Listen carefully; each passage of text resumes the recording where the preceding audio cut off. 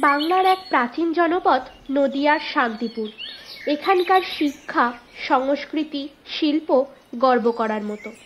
অর্থনৈতিক বিকাশের ফলে সময়ের সাথে সাথে এখানকার মানুষের বসবাসের আস্তানারও রূপান্তর ঘটেছে। অর্থবান মানুষেরা পাকা বাড়িতে বসবাস করা শুরু করলেন। নিরাপত্তার জন্য প্রধান প্রবেশপথে মজবুত দরজা লাগানো হলো। কালের নিয়মে শান্তিপুরের অনেক বাড়ি ধ্বংস হয়ে গেছে। প্রাচীন কিছু বাড়ি এখনও অবশিষ্ট আছে।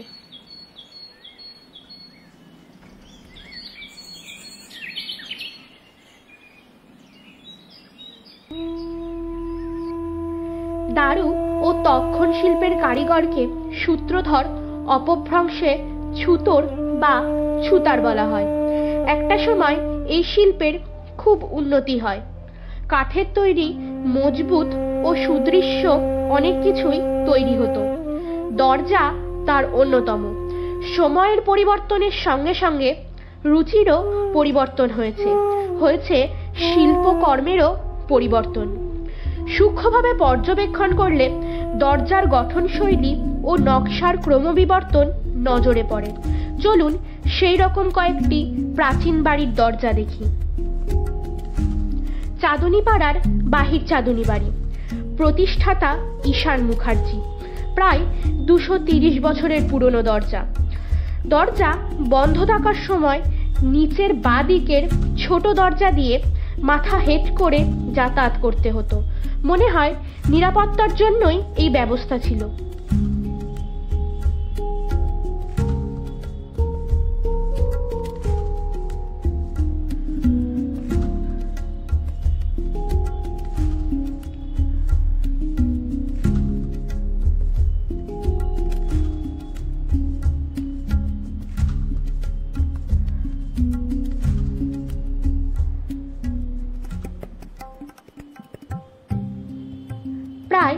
একই সময়ের পটেশ্বরীতলার প্রামাণিক বাড়ির দরজা।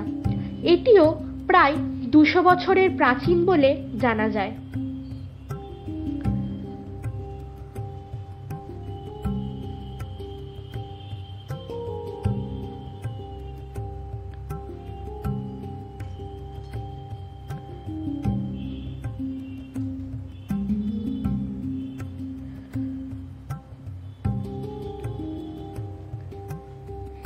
এই দরজার নির্মাণশৈলী চাঁদনী বাড়ির দরজার মতোই। এই দরজার নিচের ডান দিকে ছোট দরজা আছে। ব্যবহার না করার ফলে বর্তমানে এই দরজা আর খোলা যায় না।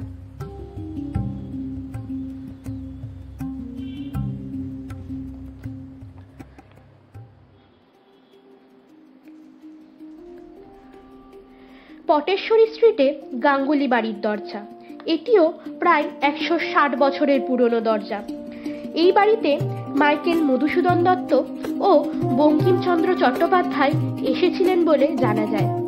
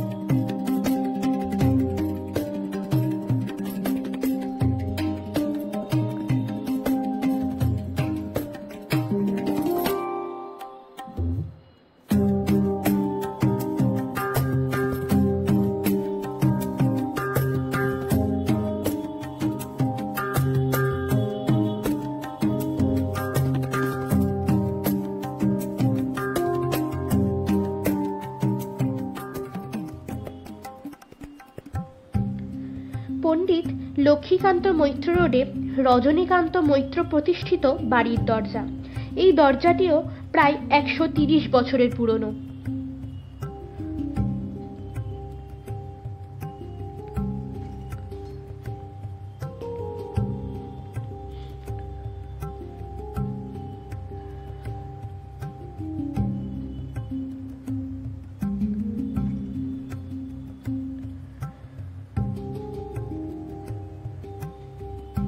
সেই সময়কার দরজাগুলি সাধারণত সাত থেকে সাড়ে সাত ফুট লম্বা এবং চার থেকে সাড়ে চার ফুট চওড়া হতো।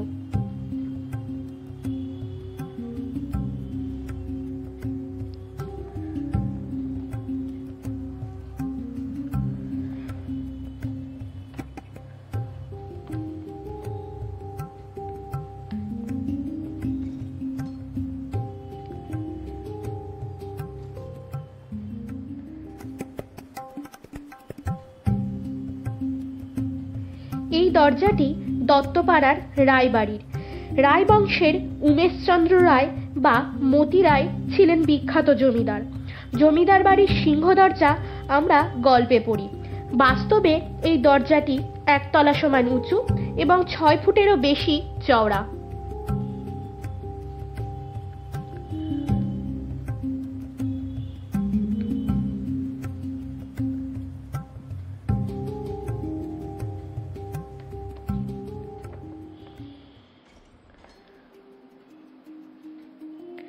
হাজিদিন মোহাম্মদ স্ট্রিটে হারুন ওস্তাগর প্রতিষ্ঠিত বাড়ির দরজা।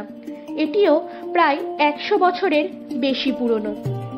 সেই সময় তক্তার উপর আলাদা নকশা করা কাঠ লাগিয়ে মজবুত ও সৌন্দর্য বৃদ্ধি করা হতো। এই পদ্ধতিকে ফরাজ বলা হয়।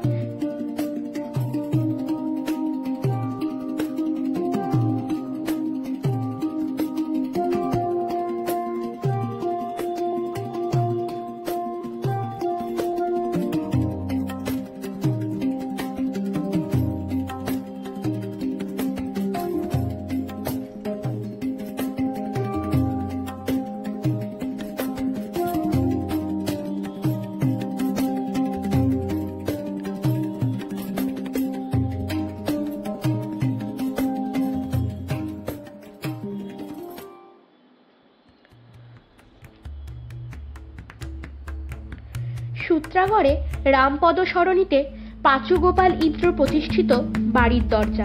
প্রায় একশো কুড়ি বছরের প্রাচীন এই দরজা। দরজার কারুকার্য দেখার মতো।